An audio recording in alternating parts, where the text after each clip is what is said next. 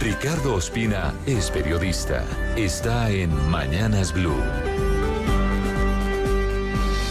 Son las 6 de la mañana y 35 minutos, con la expectativa que origina para el país el inicio en algunas semanas de las negociaciones entre el gobierno nacional y las disidencias de Iván Mordisco.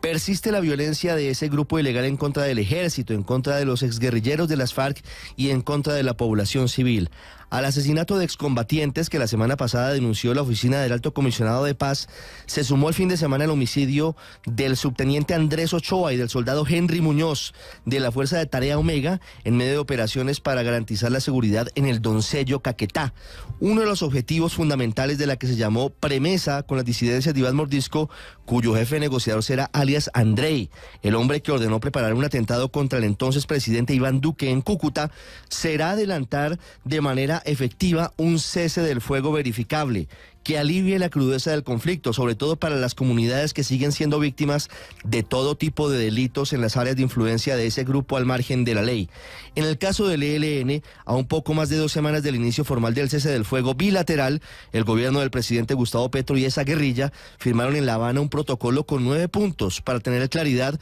en torno a lo que significa esa suspensión de acciones violentas por parte de esa guerrilla durante los próximos seis meses. Lo primero que hay que decir es que se debe destacar que hay un protocolo protocolo claro de verificación del cumplimiento del cese, a cargo de la ONU, a cargo de la Iglesia Católica y de la Oficina del Comisionado de Paz. Dicho cese, en teoría, obliga al ELN a suspender acciones violentas contra la población civil. En particular, esa guerrilla tendría que suspender los secuestros y los paros armados, esos que tanto dolor han causado en el departamento de Chocó. Los colombianos van a seguir muy de cerca los dos procesos, tanto con el ELN contra Iván Mordisco también, esperando que se cumpla con el desescalamiento de la guerra, en particular contra los civiles mientras sigue siendo una incógnita lo que suceda con la diezmada segunda Marquetalia, cuyo cabecilla Iván Márquez seguiría vivo pero cada vez con menor poder.